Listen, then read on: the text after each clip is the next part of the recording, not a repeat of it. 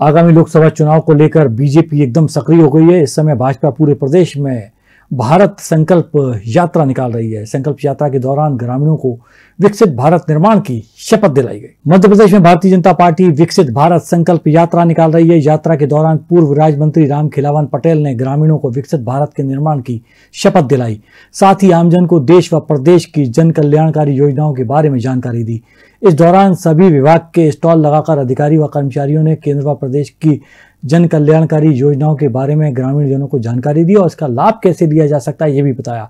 इस अवसर पर जनपद पंचायत अमरापाटन के अध्यक्ष माया पांडे, उपाध्यक्ष मनोज पटेल सहित कई जनप्रतिनिधि और विभिन्न विभागों के अधिकारी मौजूद रहे।